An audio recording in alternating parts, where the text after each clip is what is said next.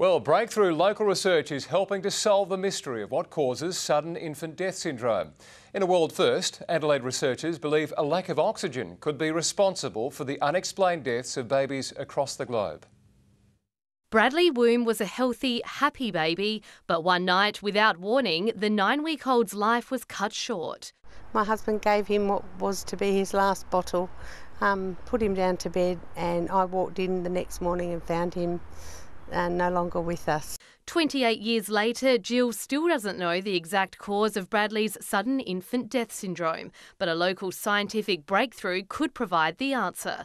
University of Adelaide researchers compared protein patterns in the brain and discovered a striking similarity between babies who died from SIDS and those who died from accidental suffocation. When we cracked the code, the pattern for the SIDS babies was virtually identical to the pattern for the babies who suffocated.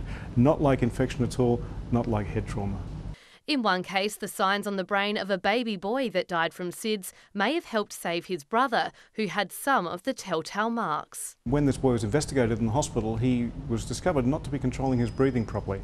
For affected families, this research is a step closer to solving the mystery of SIDS and stopping other babies from suffering the same fate what's come forward, I think, is just so significant and really makes sense. I think that every bit of knowledge um, that, that we glean helps us save lives into the future. Jessica Stanley, Nine News.